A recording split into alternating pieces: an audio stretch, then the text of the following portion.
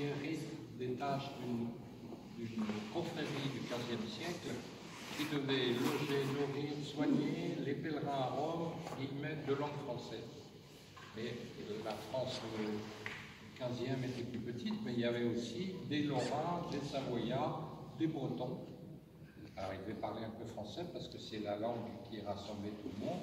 Et donc il y a une église Saint-Nicolas des Bretons, il y a une euh, Saint-Nicolas des Lorrains et une petite église Saint-Nicolas des Bretons qui sont rattachés ici plus Saint-Claude des Bourguignons, c'est leur fête aujourd'hui, il y a la messe ce soir là-bas, et puis euh, la Trinité des Monts, plus le séminaire français, enfin vous voyez, il y a tout un ensemble français. Enfin ici, Saint-Louis, alors l'église, elle a été fondée, euh, la première pierre, 1518, elle a donc 500 ans, un demi-millénaire déjà.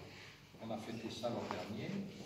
Mais ce que vous voyez est en place depuis 1750, au milieu du XVIIIe siècle avec tout un travail de marbre qui est spécifiquement italien. Et un peu partout autour, vous avez des souvenirs de la colonie française, des, stèles, des dalles, des bustes, euh, des tableaux.